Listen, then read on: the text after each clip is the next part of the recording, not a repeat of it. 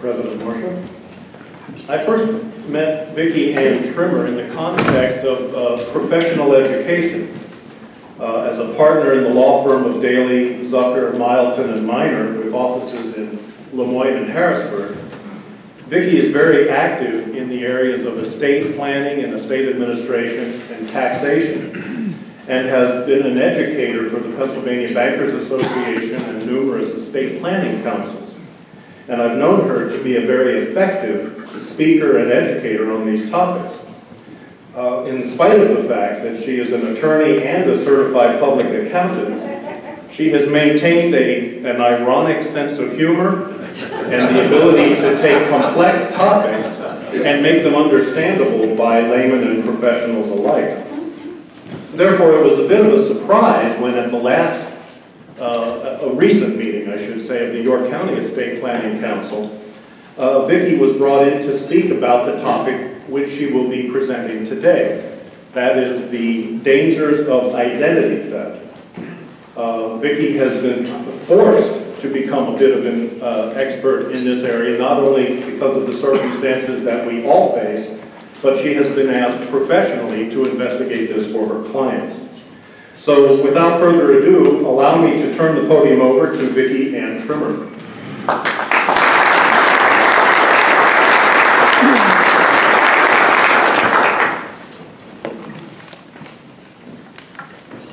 It's always hard to speak after a nice lunch and everybody's settling, you know, chicken, ready to tune out for. Um, Thank you for inviting me to talk about this topic. Um, It's not my area of expertise from a professional point. Um, I actually became involved with it. I'm a member of the General Federation of Women's Clubs of Pennsylvania. Um, I'm actually their state president. Um, So we're sort of like the Rotary for women only. But the cool thing is, we only meet once a month. Um, One of my members was vacationing in Florida, and she stopped in South Carolina to get gas. And by the time she got to Maryland, her identity had been stolen, and she wasn't able to get gas a second time. And when she finally got back to Pennsylvania, she called me in in a panic, um, and helping her figure out what she had done wrong, and also what she could do in the future to protect herself, I became interested in the topic, um, started speaking to clubs about it, and and that has branched out to other organizations. Since then, I had a client um, who called me telling me that his wife was a beneficiary of an estate in England, that all of her relatives had been killed in the tsunami in Asia. Okay, don't laugh, because it's possible. Okay, at least the wife thought it was possible. But I want to tell you the extent to the, these people went to. Um, the people, she was from England. Her family was all from England. People with her family's name are listed on the Red Cross website as being killed in the tsunami. So it looks legitimate at that point. I didn't even know the Red Cross had a list of people who were killed in the tsunami, but they did. When she sent them, of course, she immediately gave them her bank information without talking to her husband, um, because we would all do that, right? When they called me about it and I started investigating, they had a letter from a person who purported to be a barrister from England. That person had a website. When you called that number, they answered the number as if it was a legitimate barrister. The only way we found out they were not a legitimate barrister was to contact the International Barrister Society in England who licenses them. We asked for copies of the alleged bank statements. They gave us Bank of Britain's official letterhead that they had stolen with bank account information on it. They falsified and created a complete probate package with raised seals that they provided. This is the extent people will go to to steal your money. Yeah, we all hear about the ones on television. There's one going on right now, but do you, anybody use ATM machines? Okay. I will tell you that I am paranoid. I do not carry credit cards. I deal in cash. If I'm going to a restaurant, I take cash. I never use my credit card where it leaves my possession, and I never use my credit card where I can't see the wires connected to the machine. Because I can go on the internet and for $15 buy a little device that's no bigger than my pinky that I can hook on the wires of any computer that will track every keystroke on that computer. I can take it home, download it, and then I have everybody who ever used that computer, every person who ever slid their card. Now, the new chip cards are supposed to eliminate that. Okay? You'll note the word I didn't say, the new chip cards will eliminate it. Okay? They have worked in Europe. They have worked in other countries to eliminate or reduce credit card fraud. But all of the other countries have taken the step the United States has not done, they require a four-digit PIN. The United States has not required the four-digit PIN with the chip card because they thought we would rebel and not agree to do it. My advice to you is, if you have a chip card, call and get a four-digit PIN and always use the PIN with your chip card.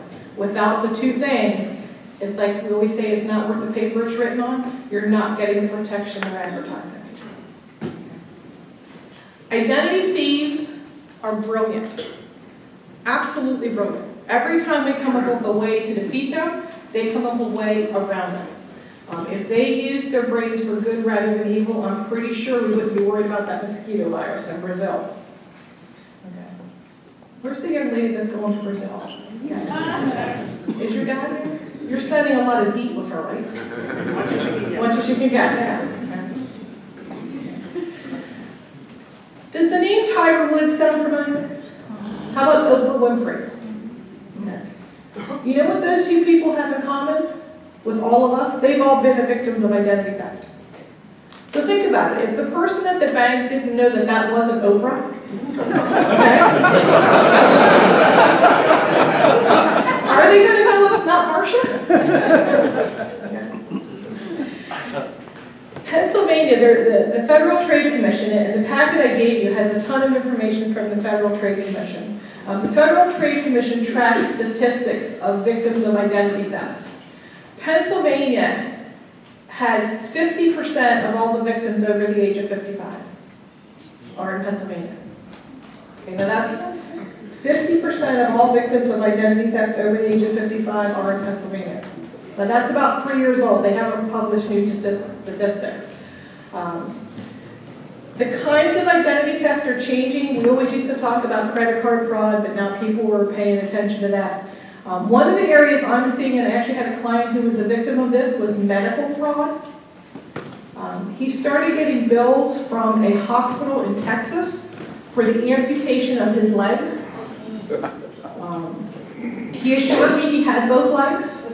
We assured the hospital in Texas he had both legs, but we actually had to take him to a notary and take a picture with the newspaper of both legs, in short so they could prove it wasn't like a fake leg.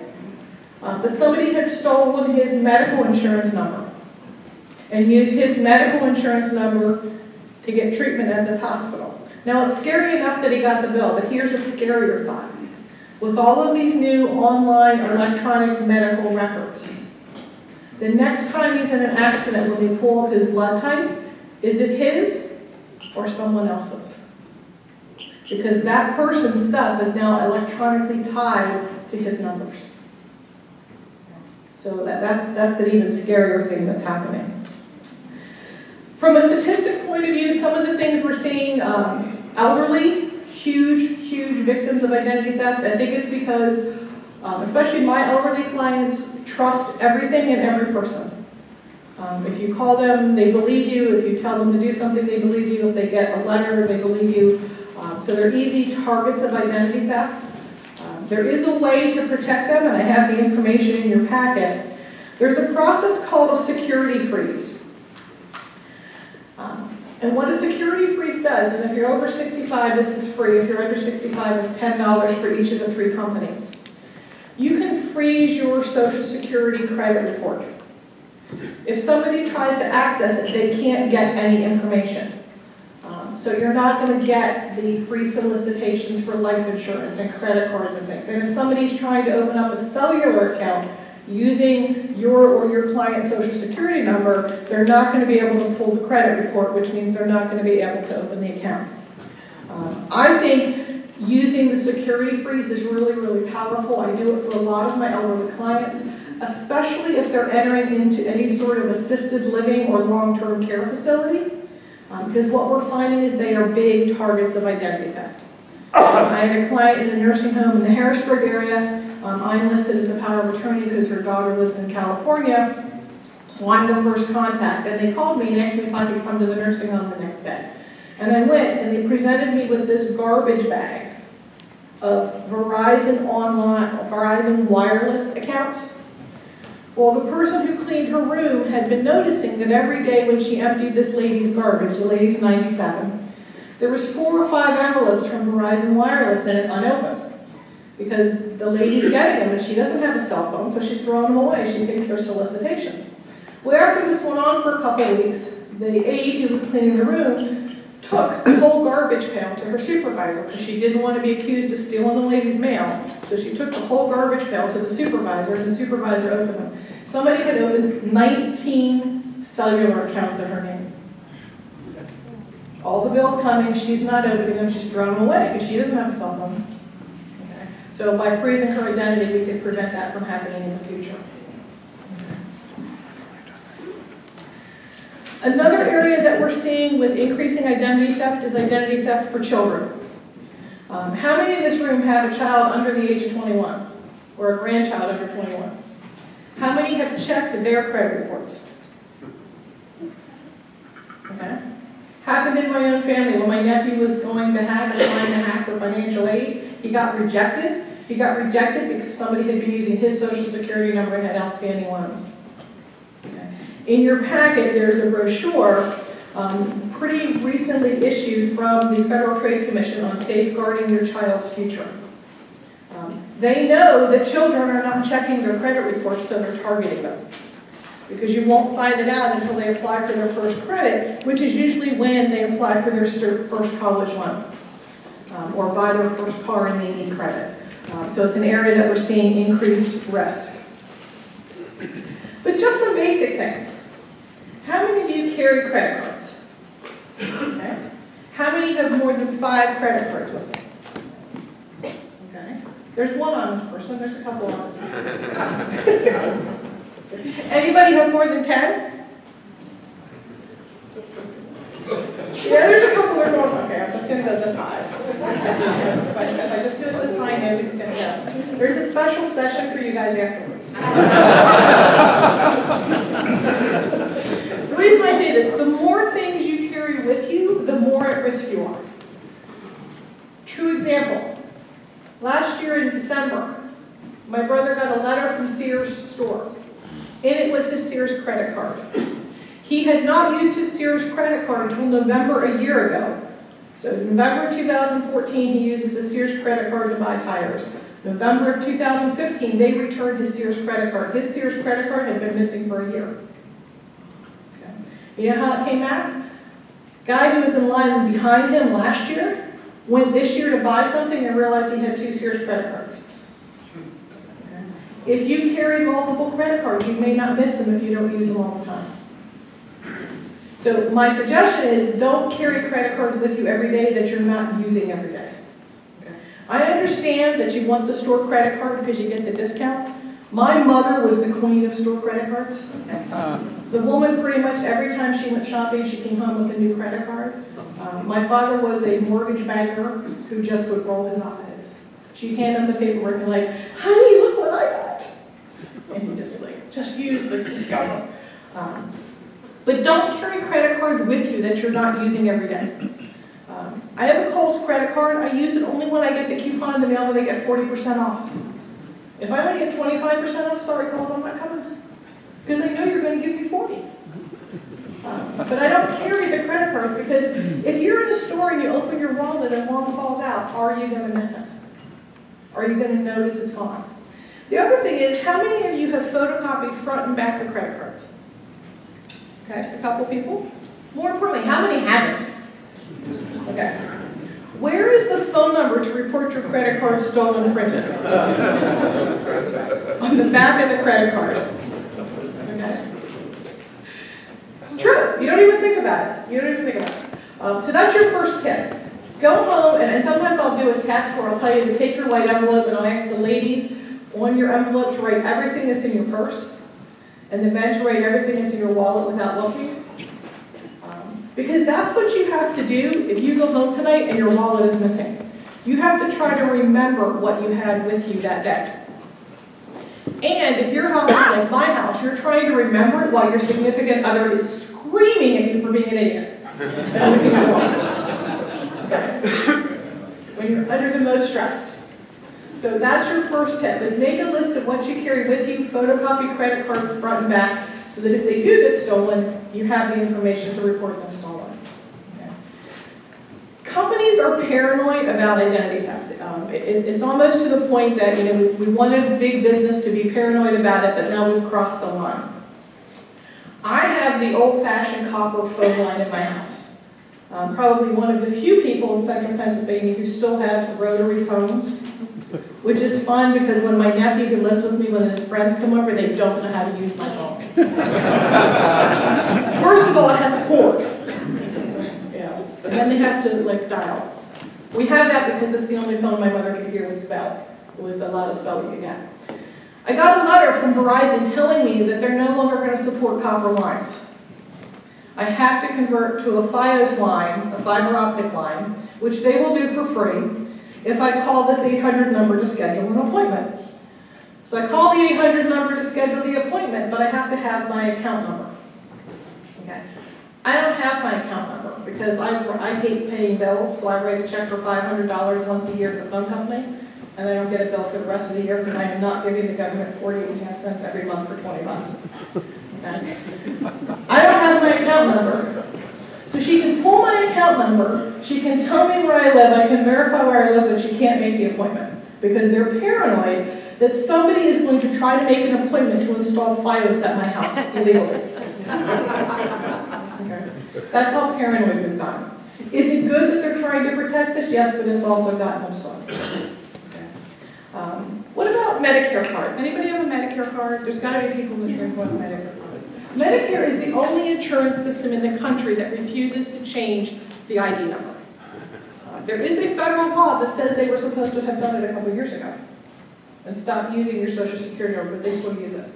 You have to be careful because once they have your social security number, they have the keys to the kingdom. Okay? With your social, with your name and about $19.95 in five minutes, I can get all of the information I need about you on the internet. Sometimes they run a special, it's 99 cents for the first week. Okay? If I have your social security number, I have the keys to your kingdom. So you have to be really careful with the paperwork that has your social security number, so your Medicare cards. Um, I have advised my parents not to carry their Medicare card. It is not in their wallets anymore. Um, One, because my mother can't be trusted not to lose her wallet, hence the father screaming at the mother for being an idiot. Um, But I tell her, you know, if you have to go to the doctors, they know your information. Use your driver's license, they can look you up. If you're taken to the hospital in an emergency, they're gonna treat you if it's life-threatening, plus you're probably gonna call me and I have the information. Okay. Now, I can tell you, if you're with me and I need my ID or I need my mom's insurance information, it's gonna take us a few minutes to get it because it's in my car. Okay? Any idea where I put it in my car? No, it's not in the glove compartment because thieves know to go to the glove compartment. Mine is underneath my spare tire. Okay?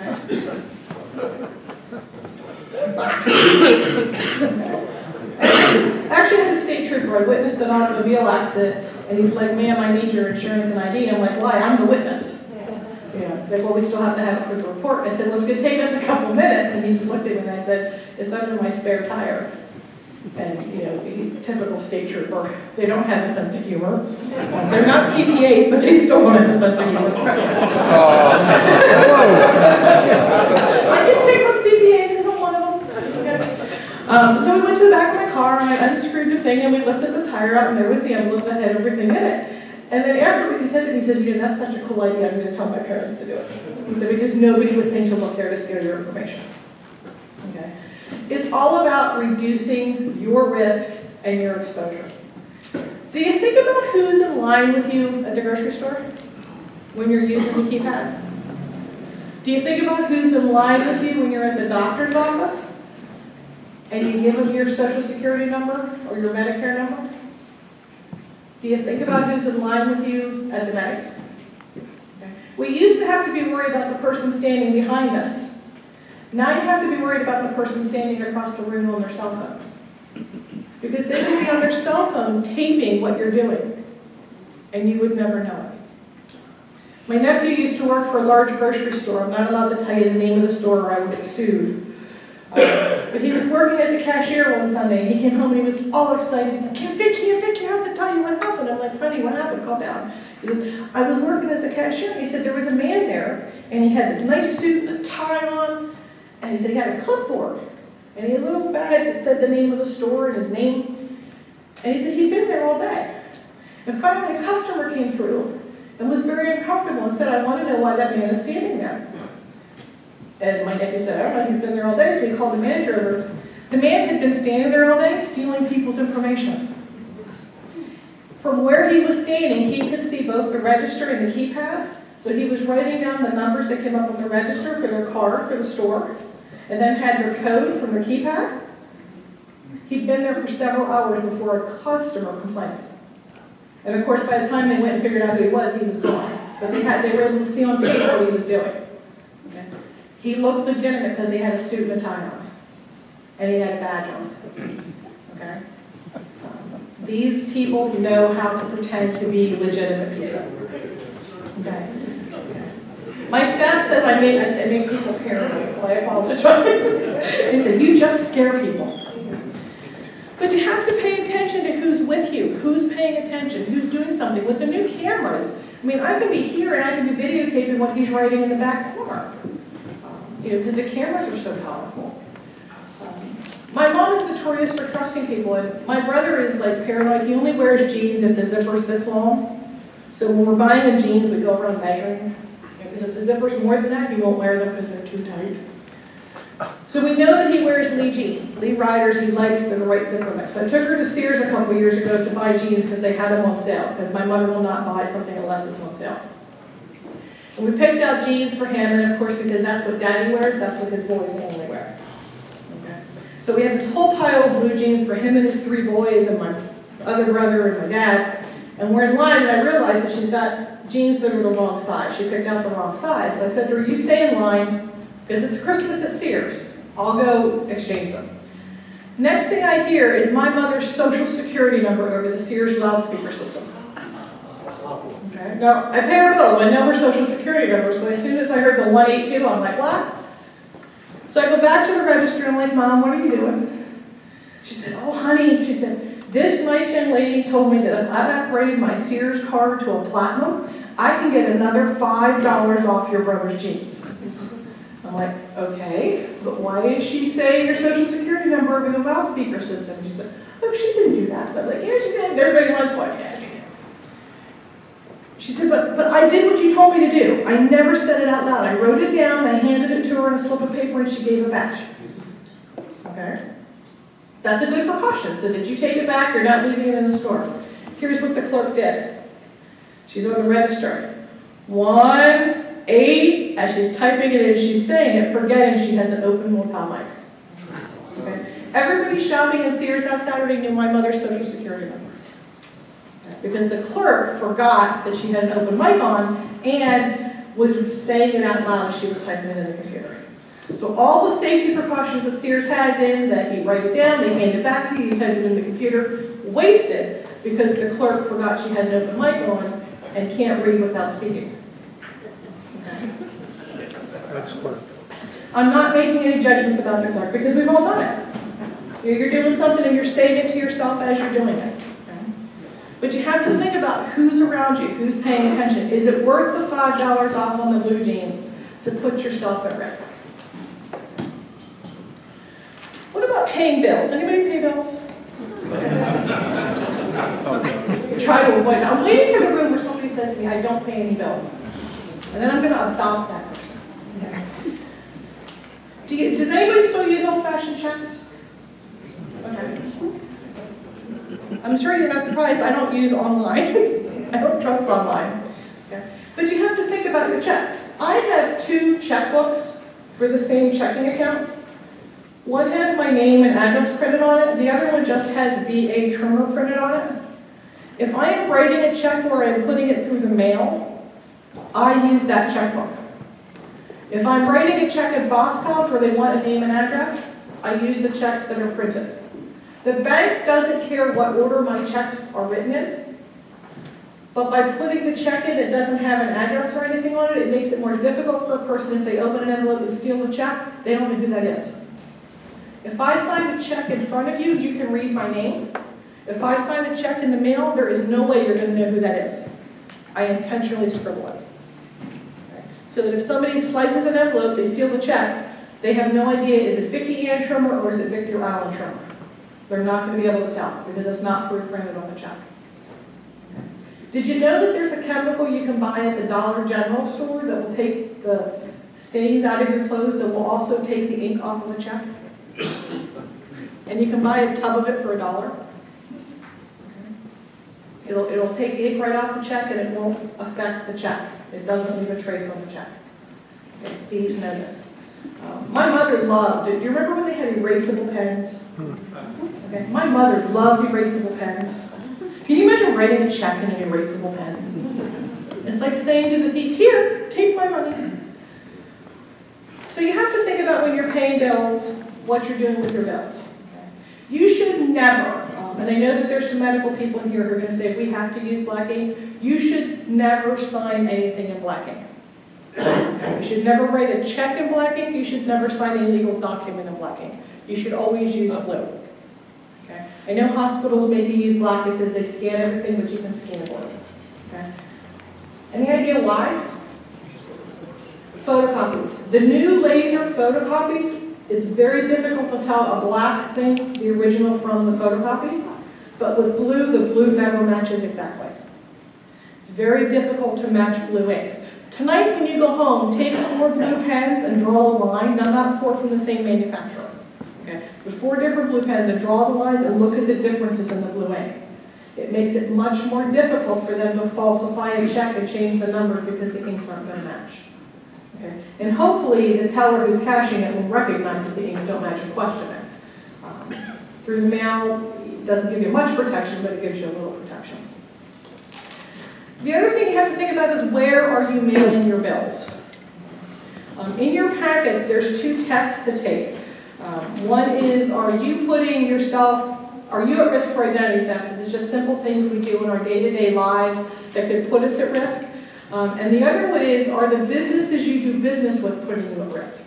Are the things that we do in our offices putting our clients at risk? For example, does everybody have a clean desk policy? Okay. Okay. Who has a policy? I want to know if you enforce it. Who has a policy? Okay. Do you enforce it? No. It's not worth the paper it's written on. Anybody who's cleaning your office has access to all of your client data because you've left it open for them. When I, when I worked for a firm in Harrisburg, we had a business investment company that was on the first floor. They went to lunch one day and left their window open, and somebody climbed in the window and stole all their client's information. Okay? Do you require that employees close their windows? Probably not. But you have to think about it. Do you do background checks on all the people who the cleaning company has hired to clean your offices? Probably not. So if you don't have a clean desk policy, you don't lock client information up, you're putting your clients at risk. And that's what that questionnaire talks about, are the things we do in our business practice putting at risk, okay? Um, I'm a tax attorney. I have a lot of clients' confidential tax information, okay? The closet that's in my office locks, and that's where my client files are at. I have a file cabinet in the office, but there's no client information in that file cabinet. When I leave for the day, my client's information is in the cabinet, in the closet, and the closet is locked, and I am the only one that has the key. Me and the business manager. Uh, Because I don't know who's in my office at night. The other fun thing I used to do is, do you worry about what you throw away? Does anybody not have a shredder? A hundred percent shredder, they should get a prize. They should get a prize, you should give them a prize. A Shredder prize. Because I was gonna say, if you don't, Walmart Dentistry has them on sale. Um, You need to shred everything that leaves your house. Everything that leaves your house. If it has a name, if it has an address, if it has identification numbers, if it has a barcode, if it has any letters on it, it needs to be shredded. I know that um, the Ronald McDonald House is now asking people to save their store catalogs. Um, And they have bins you can put your store catalogs in. Everybody I know says, okay, well, I tear off my address off the back cover. Do you tear out the, the order form? Because the order form has all the same information on it. Okay, so you have to shred the order form, not just the cover that has the address on it. You have to shred everything that leaves your house. Because people drive through your neighborhoods, they know when you put your garbage out. And they drive through your neighborhoods and they steal your garbage. Did you know that under Pennsylvania law, once you put your trash at the curb, it's not your trash anymore? It no longer belongs to you. You have deemed to have abandoned it when you put it in the trash can and put the trash can at the street. They're not even stealing it. They are entitled to it. So if you have not shredded it, you're at risk.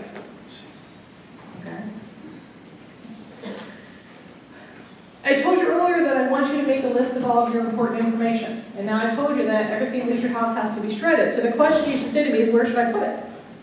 Where is the one safe place in your house that you can put important information that it will never be stolen? Okay. Any ideas? Okay. You have to think like a thief. Okay? Think like a thief. Where are you not putting it? Under the mattress. In the freezer. Thieves know that we put important stuff in the freezer. Okay? If somebody breaks into my mother's house and goes in her freezer, they will not only not have to eat for a year, but they will probably find hundreds of dollars in her freezer because she freezes it in milk cartons. I didn't know she did this till I saw a carton that said soup, and it wasn't soup, it was fifty dollar bills.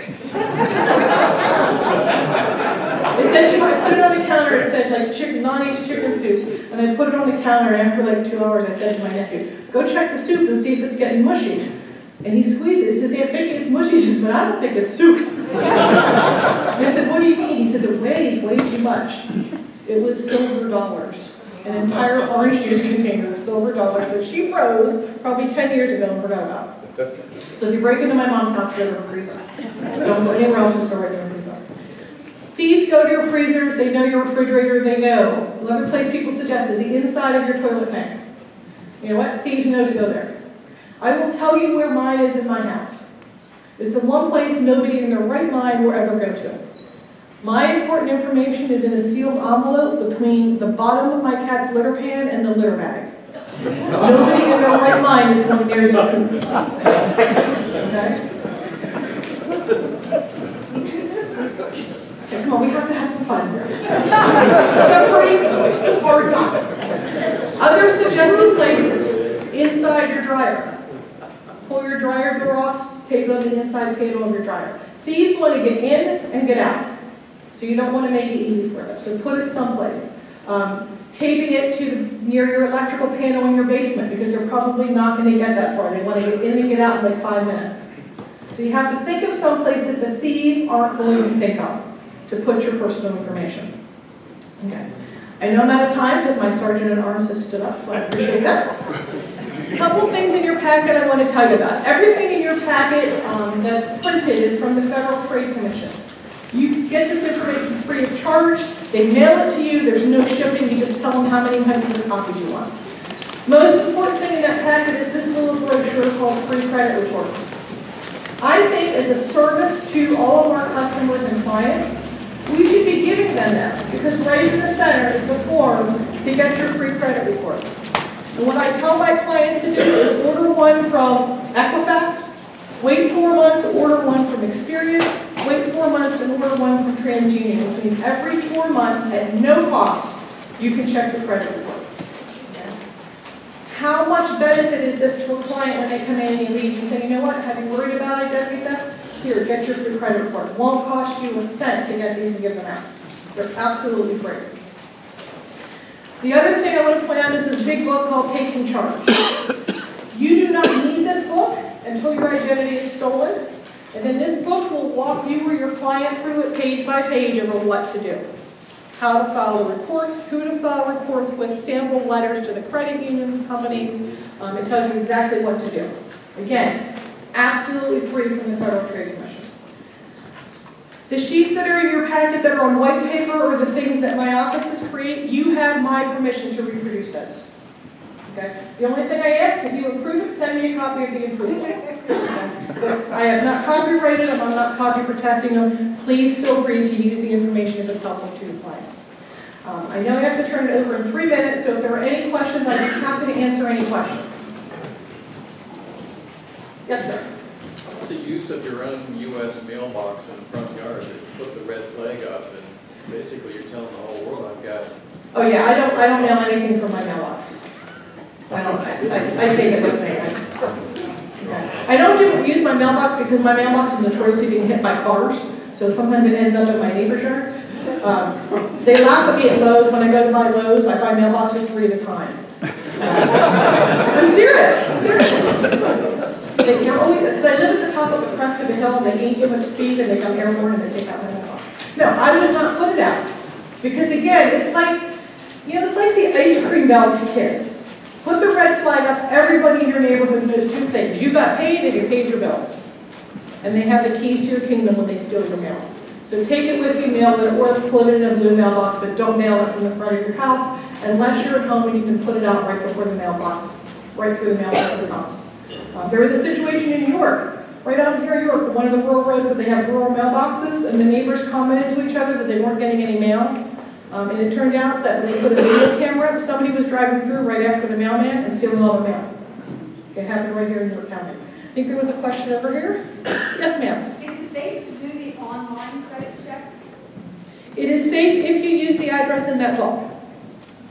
If you use the address on that form, but don't just type free credit report online because you, the first five that come up are not legitimate websites. Only use the website that's in that booklet, okay? Um, If you use the right website, what will happen is after you put your information in, they're gonna ask you from three to six questions. Um, Do you have an account at m and T Bank? Do you have a loan at the State Employees Credit Union in the amount of? Some of those questions are intentionally wrong. It's designed to make sure it really is you who is asking for the information. Now, if you ask me the second question, do I do it online? The answer is no. I tell my clients to mail it in. Okay. I- These are just too good with computer technology. Yes, sir. When you, when you stay in a hotel, the room key that you get, the swipe card? Oh, yeah, What information is on that? It depends on the hotel system. The question is the room key, um, and when I, when I have an hour to talk, I talk about hotel room keys. Some of the hotels, when you got that key, it had all of your information on it, your social security number, your credit card number, your mailing address. All of the big chains have stopped doing that, and now the only thing on it is supposed to be your room number. They are also supposed to be reprogrammed every time they're reused, but I can tell you, I have one from a hotel in, um, out near Juniata County that I have used for the last five years and it still opens that room. I go out there for a bowling tournament every year, and I always take it just out of curiosity, will still open the room, and it does five years later. Still opens that room. Um, So, to be safe, take those keys with you and run them through your shredder. Don't give them back. Don't leave them on the desk, don't give them back, take it with you and shred it. Um, Especially if you're on a cruise or something, because that key gets you access to all of the accounts online. Obviously, on the cruise ship, they've got more than just a room number. Um, So take it with you and shred it. Um, I know I'm out of time, I'm happy to stay and answer questions afterwards, I appreciate your attention and hope you found something informative.